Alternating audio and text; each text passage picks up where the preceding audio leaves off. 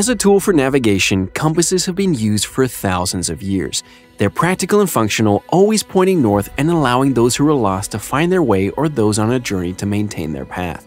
But this practical object is also highly symbolic. The very first compasses were believed to have originated in China over 2,000 years ago.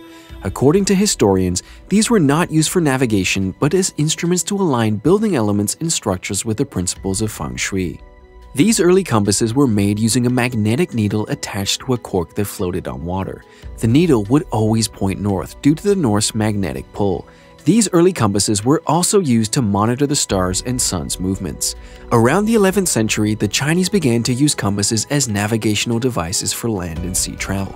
Eventually, the device reached Europe where its use spread. Over time, the compass was altered to include four directions north, east, south, west and became a more reliable and accurate instrument in navigation. The word compass comes from the Latin words cum, meaning together, and passus, meaning pace or step.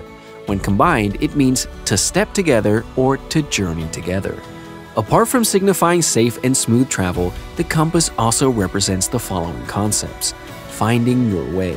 A compass is used primarily to point you in the right direction, and if you're using one, it's hard to get lost. It can symbolize that although it may take a while for you to reach your destination, you will get there no matter what.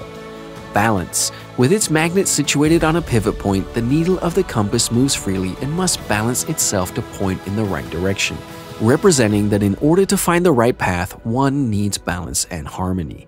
Motivation. A compass always points north, a direction which symbolizes progress, betterment, and inspiration. It points upwards, not south, which symbolizes things going wrong.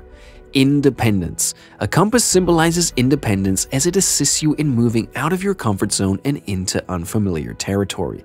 It also signals confidence in your ability to find your way.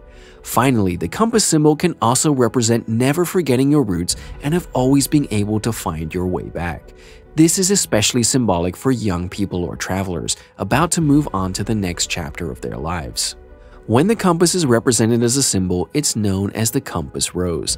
This image is typically used on maps and charts to display the orientation of the cardinal directions – north, south, east, and west.